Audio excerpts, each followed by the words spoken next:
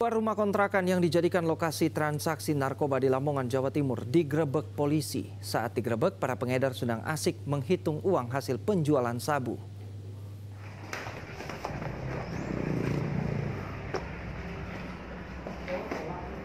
Setelah melakukan pengintaian selama satu hari lamanya, Satuan Reserse Narkoba Polres Lamongan, Jawa Timur, Rabu sore menggerebek pengedar narkoba jenis sabu.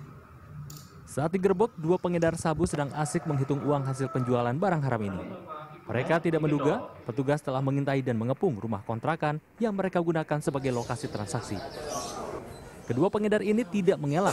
Mereka mengaku narkoba jenis sabu yang mereka jual didapatkan dari pemasok asal Madura.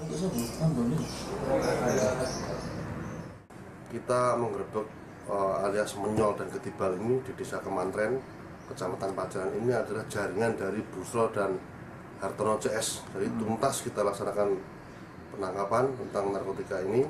Delapan tersangka kita tangkap semua dan saya juga terima kasih kepada masyarakat desa Kemantren yang informasi kepada Pusat Narkoba Polres Lamongan. Akibat perbuatan melanggar hukumnya, Kedua tersangka dijerat Undang-Undang Nomor 35 Tahun 2019 Pasal 112 tentang narkotika dengan ancaman hukuman 12 tahun penjara, denda maksimal 8 miliar rupiah. Miftahul Arif, Lamongan, Jawa Timur.